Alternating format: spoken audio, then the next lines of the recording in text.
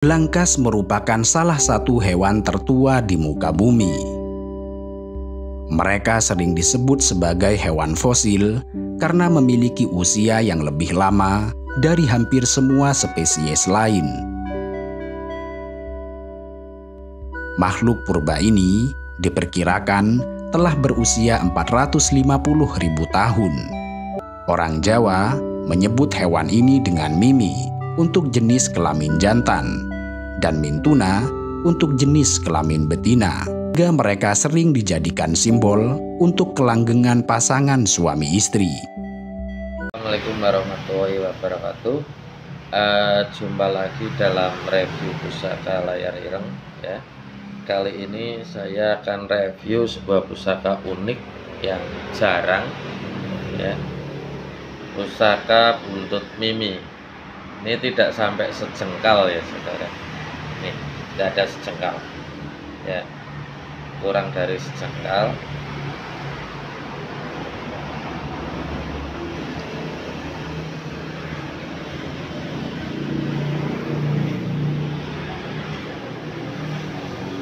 Dan ada semacam apa ya hmm, kayak pengait.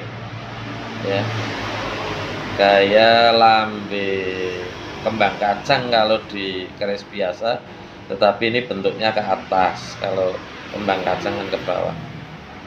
Ya filosofi buntut mimi. Mimi dan mintuno ada di dalam ular-ular atau ujar-ujar ketika pernikahan ya.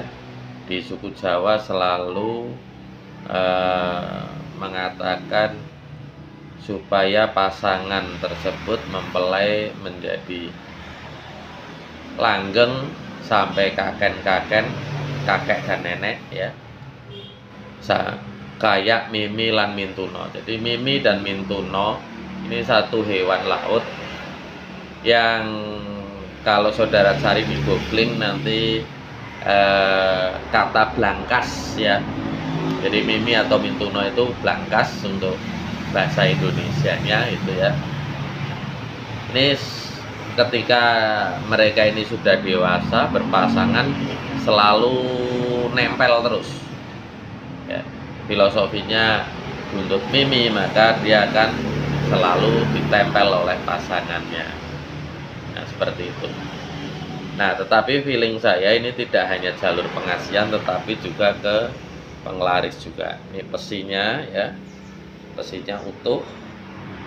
Ini tombak buntut mini tombak mini buntut mini. Nah ini untuk tongkat komando isi tongkat komando sesuai sekali. Atau bahkan eh, ini lebih tersembunyi dari pusaka macam klewer. Kalau pusaka klewer kan disembunyikan pada eh, dompet ya. Kalau ini bisa kita samarkan dengan uh, pulpen atau mungkin spidol ya kita taruh di waist bag tas tas ini tas punggung ya tas lepang ya bisa. Jadi nggak akan kelihatan kalau ini sebetulnya pusaka untuk pengasihan. Nah saya tadi sudah coba yang cocok di sini nih. Ini agak cocok nih saya bongkar ya. Isinya saya keluarkan ya. Kemudian ini saya masukkan nih nah. Oke. Nah ini karena ini ada ini ya saudara jadi kemungkinan nanti kita ubah sedikit. Nah segini ya. Ini nanti kita tutup lagi. Nah ini kesenjangannya ini mungkin bisa kita lem aja. Pakai lem tembak atau mungkin tetes sial teko. Jadi sangat tersamar sekali kalau ini sebuah peng, uh, usaha pengasihan. Dan sebagaimana review dari pusaka-pusaka layar ireng rata-rata ketika kita review ini saya minta izin sama pemaharnya. Jadi pusaka ini sudah laku ya dimahari oleh sahabat layar ireng yang berada di kota Bekasi.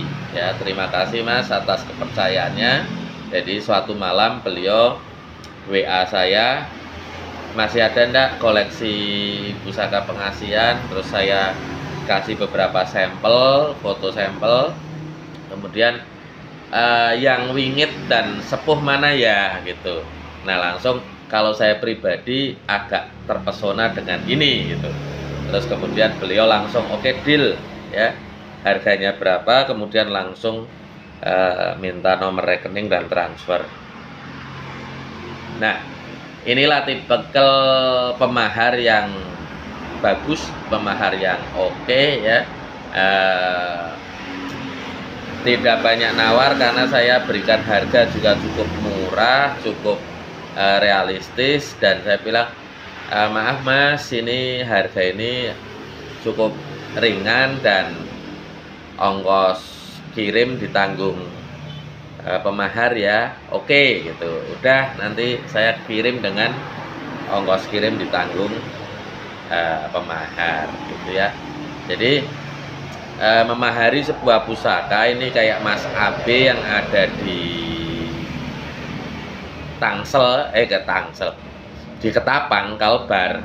Ini termasuk sahabat layar ireng yang top juga. Beliau memiliki keyakinan yang sama dengan para uh, penggemar pusaka yang beraliran isoteri atau tuah atau yoninya. Jadi ketika saya katakan harga insya Allah raga, uh, harga dari pusaka-pusaka layar ireng masih terjangkau dan masih di bawah harga pasaran pada umumnya ya. Dan beliau langsung respon deal uh, nanti kami transfer dan uh, alasan beliau bahwa ketika pusaka selalu ditawar berbelit-belit itu biasanya kodamnya atau isoterinya atau yoninya atau energinya malah justru merasa direndahkan karena dia seolah-olah e, dihargai dengan apa tanpa keniatan ya. Dengan melakukan beberapa kali tawaran ulang ini berarti menandakan kita e, tidak serius atau tekad kita kurang kuat di dalam memahari sebuah pusaka berioni. Ya. Nah oleh karena itu ya yang terlalu lama pilah-pilih pilah-pilih mungkin berdasar bentuk mungkin berdasarkan harga pada akhirnya selalu uh, tidak pernah mendapat karena uh, di kami cukup banyak pemesan yang ketika kami mendapat pusaka itu tidak berselang satu minggu biasanya sudah ada yang nawar dan deal harga jadi uh, makanya kalau beberapa pembeli uh, calon pemahar yang sempat WA saya saya nggak akan pernah mengejar calon pembeli. Jadi ketika sahabat layar ireng menanyakan harga kemudian tanpa konfirmasi atau mungkin oh ya nanti kalau ada lagi biasanya saya hanya jawab singkat ya gitu aja.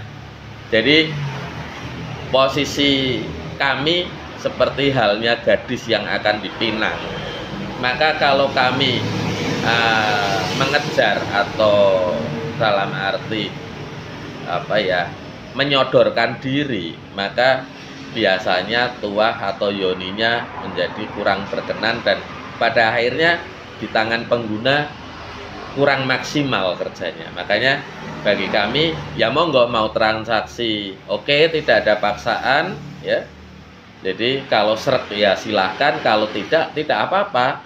Nah kita masukkan dalam konten juga dalam rangka edukasi dan selalu mengenalkan hasanah budaya eh, bangsa Indonesia bahwa tiap kali ada hajat apa pun ternyata bangsa ini selalu punya sarananya melalui ikhtiar sebuah pusaka, sebuah cara, ritual, dan lain-lain.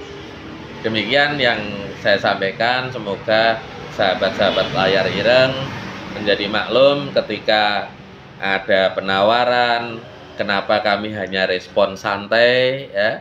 Eh, tetapi setelah terjadi transaksi, setelah transfer masuk, kami cek di rekening kami sudah masuk, maka saya minta izin untuk mereview pusakanya dan segera kita tayangkan.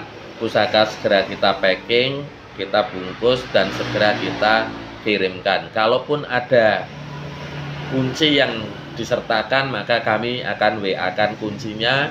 Kalau tidak ya berarti mungkin penggunaannya langsung nyetel dengan pemahar. Begitu salam layar irah